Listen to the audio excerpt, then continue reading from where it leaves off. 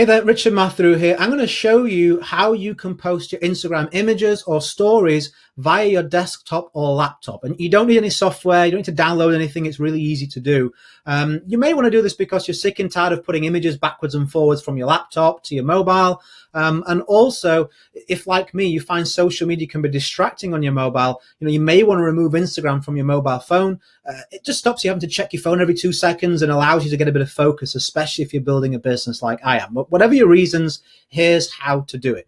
So what you want to do is come over to, to Instagram uh, on your on your desktop or your laptop. And then what you're going to do is you're going to on the screen somewhere you're going to right click and you're going to go down to inspect. So do you see that? I've right clicked and I'm going down to the bottom option which is inspect. Click that and it may bring your mobile view up straight away. If it doesn't, see down here where I'm kind of squiggling my mouse down here, look, there's a little uh, tab that says toggle device toolbar, toggle device toolbar. It's like a picture of a mobile phone and then a, and a tablet screen.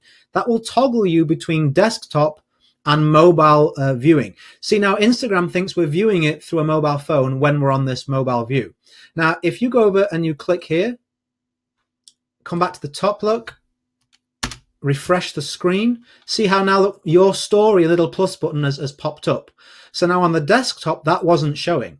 Now it is. So I'm able to come and click on this as you can too. Take any file you want from your, from your desktop or your laptop. And if I move my face out the way here, go to the plus button, click the plus button, and again, you can drag your image or your video uh, from over here. Everything's as you would expect it to be. You know, you can you can navigate this just as you would on your mobile phone now, uh, so you're able to do that. Now, what I suggest that you also remember is uh, this, even though it's in mobile view and you're on your desktop, the same rules apply to like image dimensions, video lengths, that kind of thing. So make sure what you're planning on posting, you know, you account for the length of the video and the type of image to make sure that it's easier for you to upload. But there you go, really simple, no software, nothing to download, completely free.